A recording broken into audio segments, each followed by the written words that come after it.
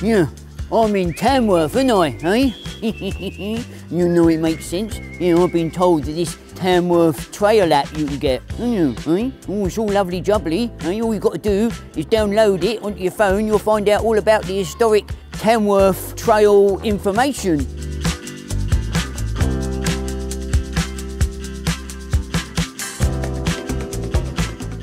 Au contraire, eh? That's only Robert Peel, isn't it, eh? Well, you know, he came from Tamworth, didn't he? He was the geezer that set up the modern police force, wasn't he? Eh? Yeah, that's how they got the names Bobbies and Peelers.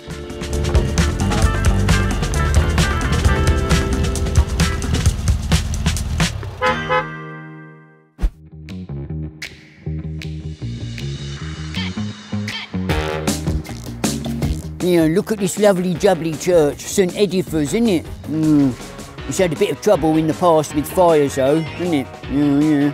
Here, I've got some distinguishers in the van, haven't I?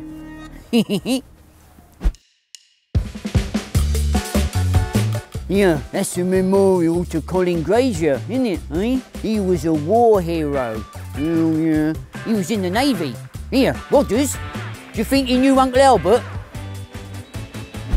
Yeah, do you know where I got my three-wheeler from? Eh? Came from Tamworth, didn't it? Eh? That's where it started, by that geezer Tom Williams. He built the first Reliant. He built it in his back garden.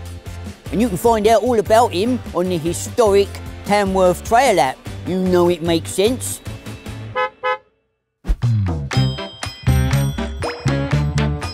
Yeah, apparently, William MacGregor, eh? He, he lived in Tamworth. He started the co-op, didn't he? Eh? He was a local vicar. He was a collector of the Egyptian objet d'art. A bit like myself. Shame he's not around today though, innit? Eh? I've got some stuff I want to shift. Nothing hooky though. You know, this is a griffin, isn't it, eh?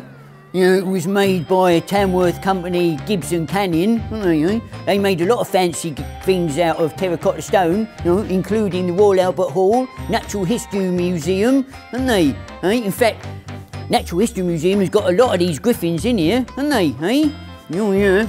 Right, so if you haven't yet downloaded the Tamworth Trail app yet, don't be a wally, eh? Do it now. You know it makes sense.